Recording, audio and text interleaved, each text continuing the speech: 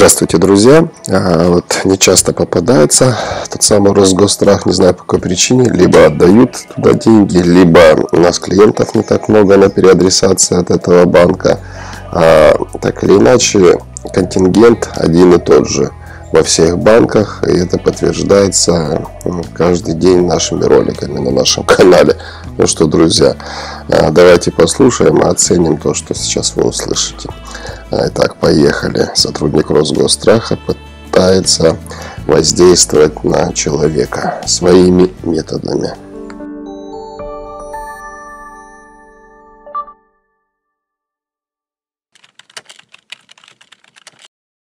Алло.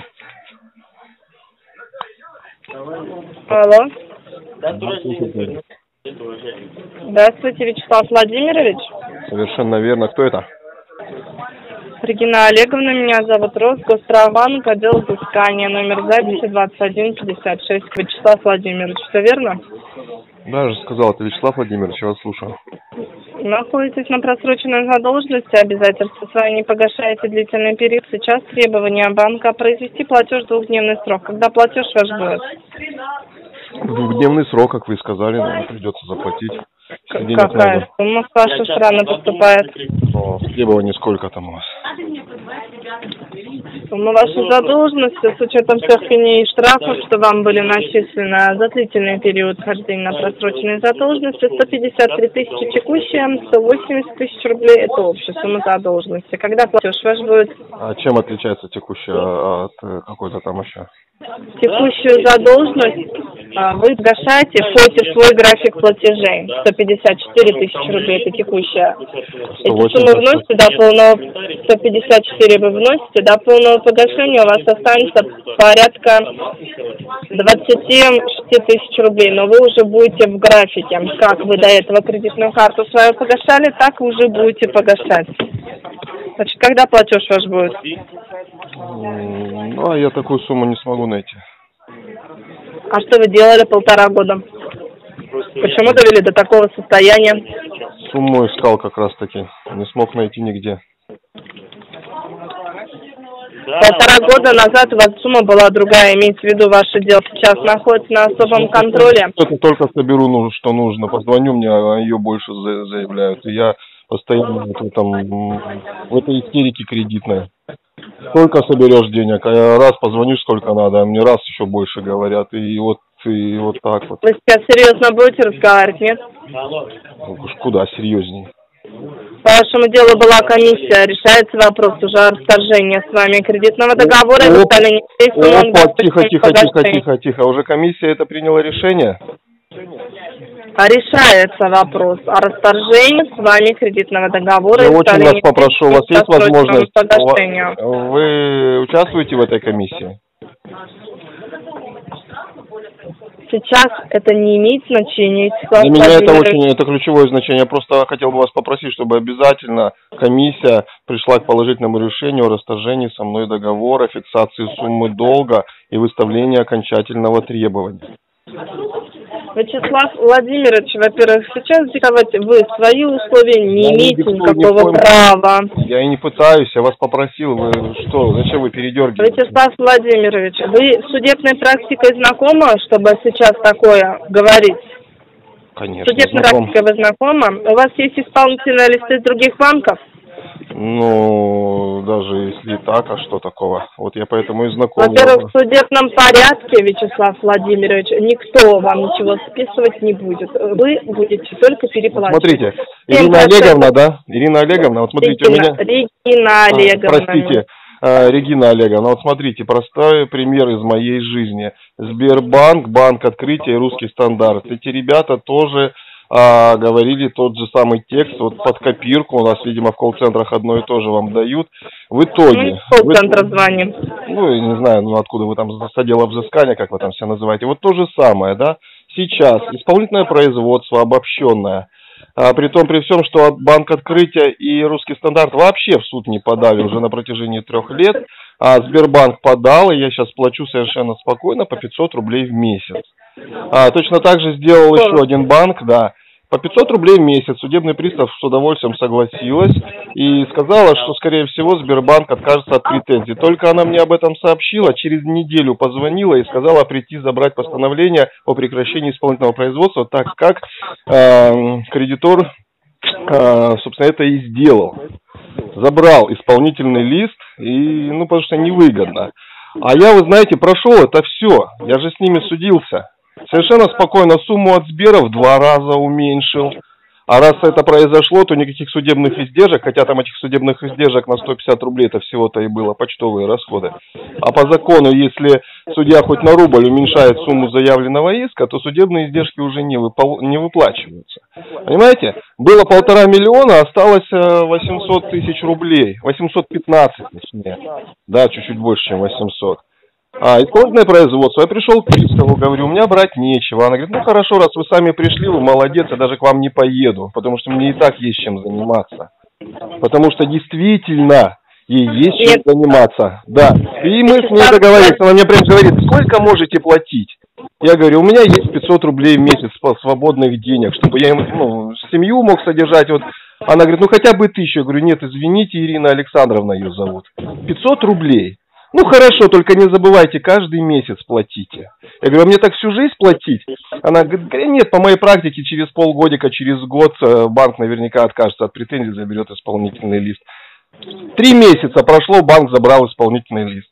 У меня сейчас только на сайте болтается исполнительное производство, и все. Больше нигде ничего, кроме меня, об этом никто и не знает. Я спокойно за границу путешествую, представляете? У меня имущество есть, автомобиль на жену оформлен, да. А, замечательно, Вячеслав Владимирович. А вы понимаете, что разговоры записываются, да? А я тоже записываю, я вам больше скажу, я тоже записываю, еще и в общий доступ выкладываю, выкладываю на Ютубе. У меня есть хороший друг Кузнецов Дмитрий Евгеньевич, он, у него канал шикарный антиколлекторский, он там выкладывает все записи. Посмотрите. 25 тысяч подписчиков. Я ему отправлю, завтра он выложит. Наверное, первые сутки Тысячи три человек послушали. Не, не, я вас просто в известность ставлю и не пытаюсь даже вас, как говорится, а, пугать, а просто, чтобы вы знали. что я буду звездой Ютуба, Вячеслав А вас, если бы вы Люба вас звали, я бы назвал Люба звезда Ютуба, а вы Регина, а, рифма нехорошая а, напрашивается. Вячеслав Владимирович, вы мне под запись разговора сказали, что источник доходов у вас есть, вы ездите отдыхать, мало да, за да, я вам, да подождите, я сейчас отчетливее скажу, отчетливее скажу. Итак, Регина Олеговна, представитель банка Рос, как вы там называетесь, у того человека, кому вы звоните, есть источник дохода. Он фрилансер. Источник, правда, неофициальный. Официально я вообще ничего не получаю. А неофициально я получаю более 180 тысяч рублей в месяц. Ну, все как пойдет, знаете, как заказы, интернет-заказы идут у меня там.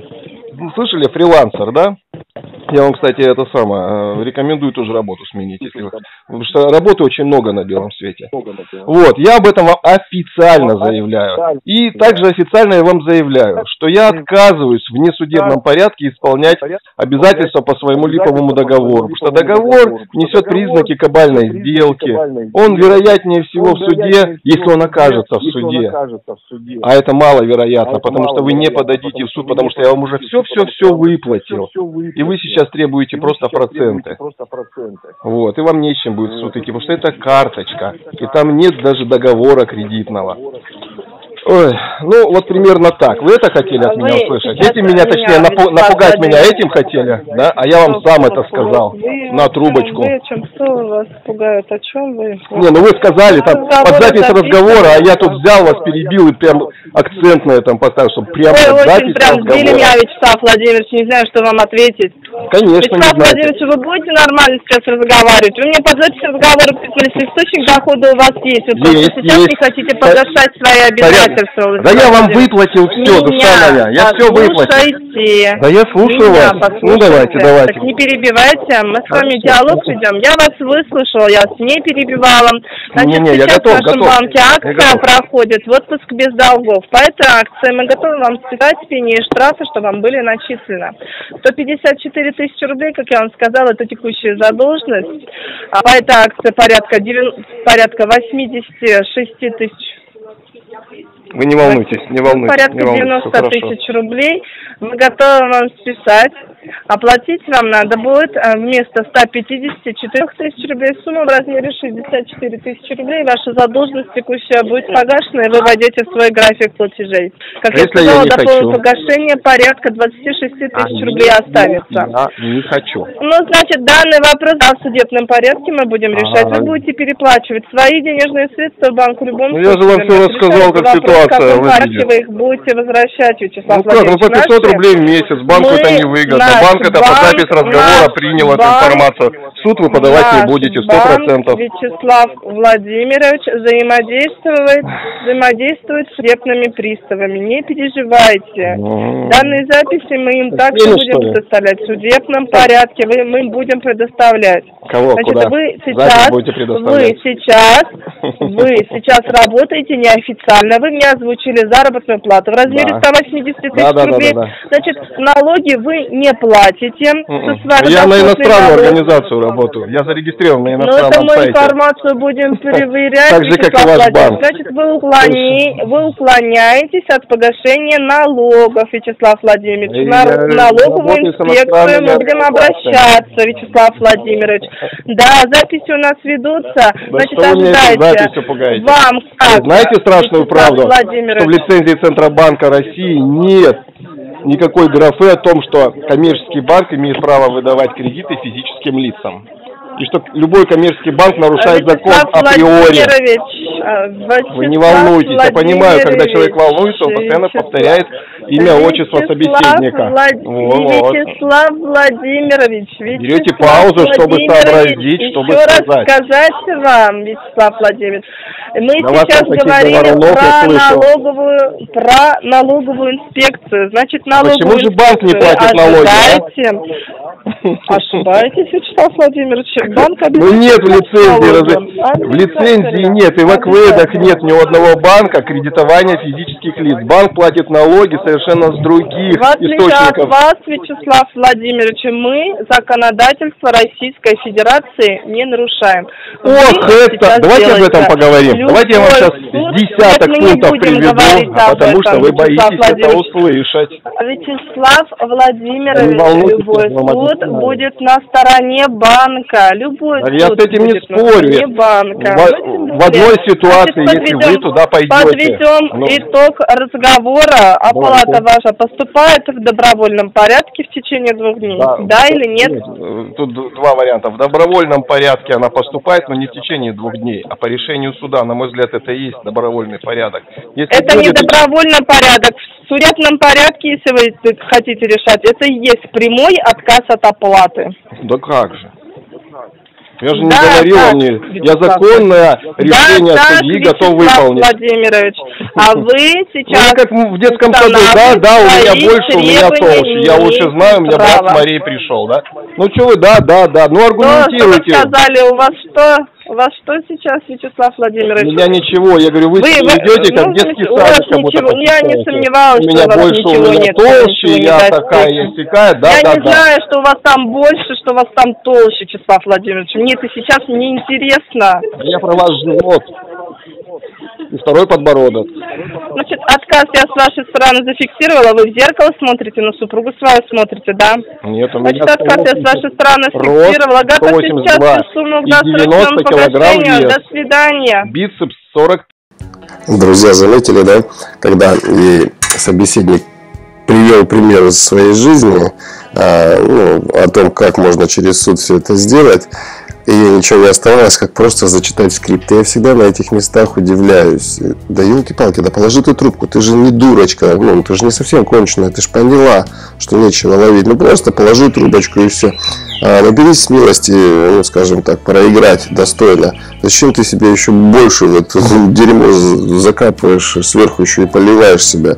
В итоге кончилось тем, что э, на ее внешний вид перешли и даже, мне кажется, зацепило это. Я ничего против клоунных людей не имею, но когда собеседник пытается в лице банка а, навязать мне, либо моему клиенту, либо вообще по жизни демонстрирует свою неприязнь э, к законам, то почему бы и не надавить на больное? Да, зацепила ее, когда она начала про родственников, говорит, наверняка там туша сидит и невостребованная по жизни с отсутствием мужского внимания и все остальное.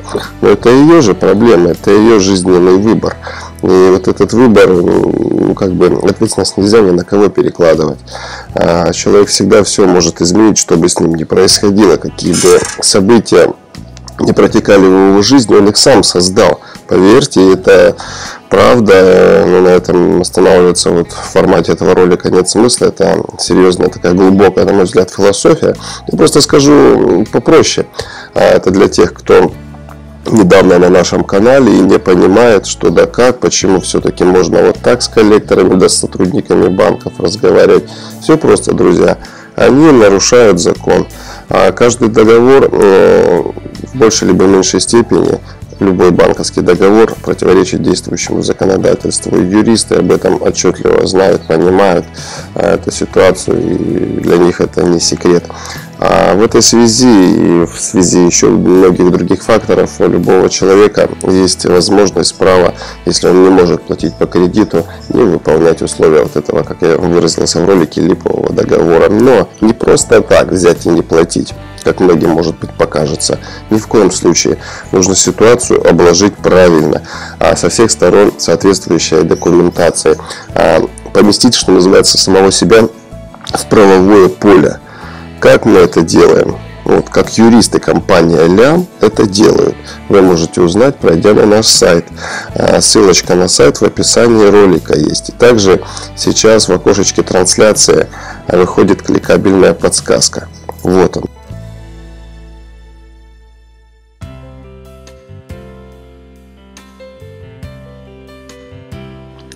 Вы можете посмотреть, а, пройти на этот сайт, и вы найдете там видео. Э, видео как раз таки рассказано, как устроена работа кредитных юристов компании Алям. А четко в формате хорошего такого презентационного ролика я выкладываю там всю ситуацию, как говорится, вам на блюдечке.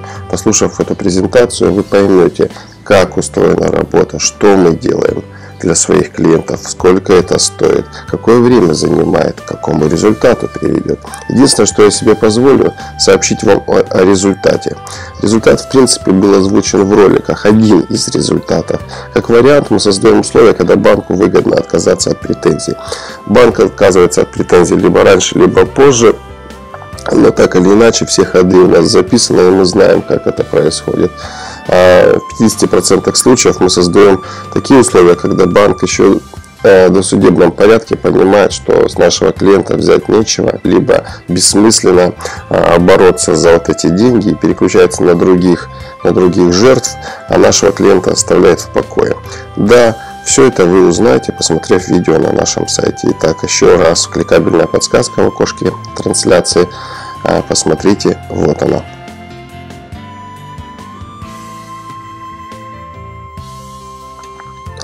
Посмотрели видео на сайте, после этого все, что вам необходимо, это оставить заявочку у нас на сайте в форме соответствующей. А, введите корректную информацию о себе и, конечно же, ждите звонка наших специалистов.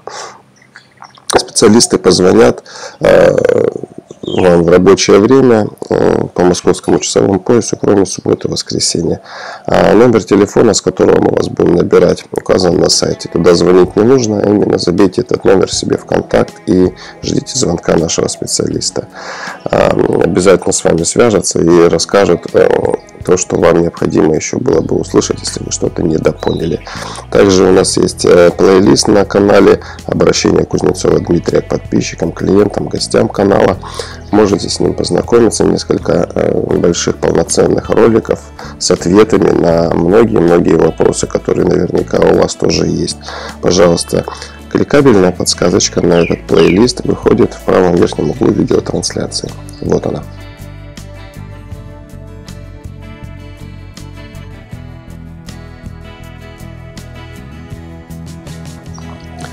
Это для того, чтобы вы поближе познакомились с руководителем компании Аля. Ну, мне остается вам пожелать счастья, здоровья. Жду от вас комментариев к этому ролику. Ставьте лайки, подписывайтесь на канал, кто этого не сделал. В описании ролика есть ссылочка на группу ВКонтакте. ВКонтакте все наши ролики дублируются, много дополнительной информации, поэтому вступайте в группу ВКонтакте. Ну и, конечно же, я попрошу отдельно это поделиться в соцсетях этим роликом, любыми другими. Не забывайте делиться роликами, чтобы как можно больше людей узнало правду о банках, подписалось на наш канал и тем самым освободилась от кредитной зависимости. Это действительно важно для многих, поверьте, так же, как и для вас. Для тех, кто впервые, недавно на нашем канале еще не успел, как говорится, все до конца понять. Вот на этом все. Счастья вам, здоровья, финансового благополучия. До свидания.